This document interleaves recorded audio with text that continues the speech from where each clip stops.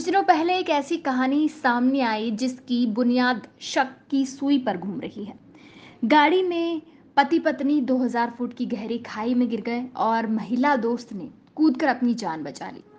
ये नाटकीय घटनाक्रम उस समय सामने आया जब जख्मी महिला दुकानदार के पास पहुँची और मदद मांगने के साथ हाथ पैर जोड़ने लगी। कहने लगी कि, मेरे परिवार वालों को मत बताना, बिना पूछे आई हूँ। पुलिस के सामने भी यही बात कही गई, लेकिन मामला कुछ गड़बड़ सा है। रविवार की शाम, महू मंडलेश्वर रोड पर जाम गेट पर पति पत्नी की मौत सुर्खियों में है। खरगोन के सुनील गुजराती की पत्नी प्रीति गुजराती और दोस्त दीपिका कुशवाहा कार से घूमने जाम गेट आए थे। शाम को यहाँ पहुँचने के बाद और गिलेट्री के फायरिंग रेंज के पास खतरनाक इलाके में पहुँच गए। पचास कदम दूर पर खाई थी और पति पत्नी बैठकर खाना खा रहे थे। पति नशे की हालत में था और दीपिका पीछे बैठी हुई थी। सात बजे के दरमियान अचानक कार चलने लगी और उसके गेट लॉक हो गए। दीपिका तो कूद गई, जबकि पति पत्नी 2000 फुट गहरी खाई में जा गिरे। दीपिका ने जाम गेट के पास पहुंचकर कन्हैया लाल राठौर की दुकान पर जाकर बताया कि ये सारे घटनाक्रम हो गया है। उसके सिर से खून बह रहा था। वो कहने लगी, हमारी मदद करो, कार खाई में गिर गई है। पुलिस को बुला लो। कन्हैया की पत्नी बोली कि पहले तो पुलिस को सूचना दी, फिर कहा कि आपके परिवार वालों का नंबर बता दो। ये सुनते ही लड़की के चेहरे से हवाइयाँ उड़ गई और वो महिला के पैरों में गिर पड़ी और कहने लगी कि मेरे घर वालों को मत बताना, बिना पूछे यहाँ आई हूँ। दुकानदार भी पत्नी भी पुलिस अफसरों जैसा रौब जगाने लगी और सवालों की झड़ी लगा दी। पूछने लगी कि बिना बताए घर से कैसे आई हो तो तुम्हारा दोस्त कौन है?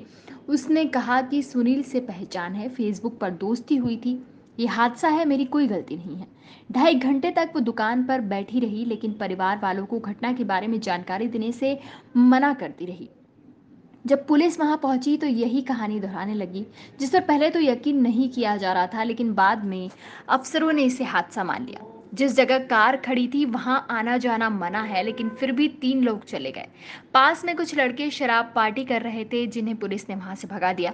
इस घटना के बाद डिप्टी रेंजर पवन जोशी भी वहाँ पहुँचे, लेकिन वो भी टीम के साथ रवाना हो गए और हादसे को लेकर काफ़ी लापरवाह नज़र आए। पति पत्नी की लाश तो पुलिस ने बरामद कर ली, लेकिन कार खाई में ही है। पास में ही दुकान लगाने वाले सुदामा नागौर ने बताया कि युवक खुद ही मौत को न्योता देते हैं क्योंकि खाई के पास जाने की मनाही है, लेकिन लोग फिर भी वहाँ जाते हैं।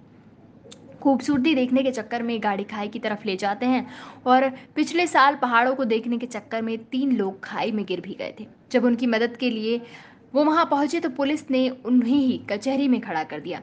इसलिए दुकानदार मदद करने में डरने लगे हैं। जाम गेट पर पंद्रह से ज़्यादा छोटी बड़ी दुकानें हैं जो बारिश के दिनों में यहाँ भीड़ रहती है।